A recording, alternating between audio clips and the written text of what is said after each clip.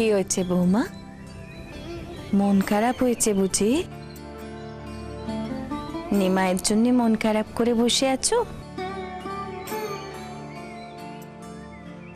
না মা কিছু হয়নি। আসলে কোনো কাজ নেই তো তাই বসেছিলাম।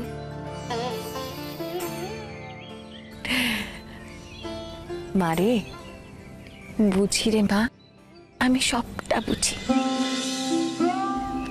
মায়ের চোখ এড়ানো বড্ড কঠিন। তোর যে কষ্ট হয়েছে, আমি সবটা বুঝতে পারছি, বেশ বুঝতে পারছি, আর হবে নাই বা কেন? সত্যি তো, নতুন বউ, এভাবে স্বামীকে ছেড়ে থাকতে কারও ভালো লাগে? কোথায় দুটিতে বসে একটু সুখ শান্তির কথা বলবে? তা না, আমার পণ্ডিত ছেলে বেরিয়ে চলে গেল। शीशो खूंचती